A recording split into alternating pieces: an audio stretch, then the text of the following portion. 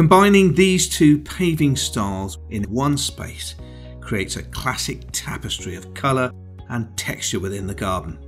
The naturally sweeping stone texture of the classic porcelain in anthracite, meeting with the atmospheric timber appearance of the deckwood in the shade cocoa provides a homely and timeless feel in any space. The black shade of the classic porcelain creates depth and warmth for a raised seating area, and creating a brightening contrast for nearby plants such as potted fuchsias or colourful anthuriums on a dining table. Choosing light coloured furniture to pair with this offers a refreshing brightness to contrast the dark paving, lifting the eye gazing upwards to enjoy the whole space.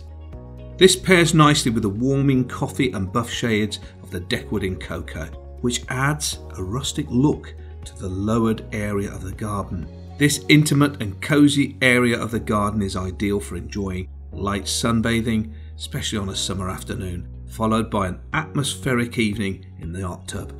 To find out more about Pavestone's porcelain paving ranges, just head to the website pavestone.co.uk.